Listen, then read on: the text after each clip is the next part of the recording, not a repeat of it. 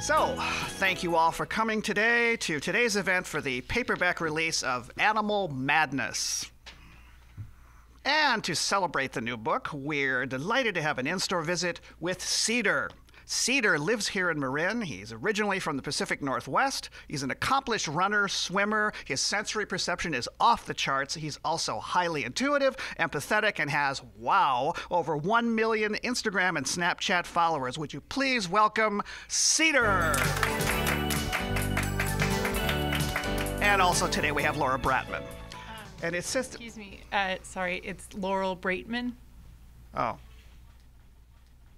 It says here that she holds a PhD from MIT, that she's a TED Fellow, and uh, some other things. And she's written this best selling book called Animal Madness. Here is, uh, what's her name, Ann Cedar.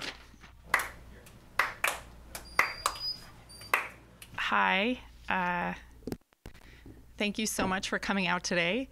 So, the book isn't actually about cedar, it's about many different animals and their complex psychological and emotional lives, and how better understanding them can help us understand our own mental health.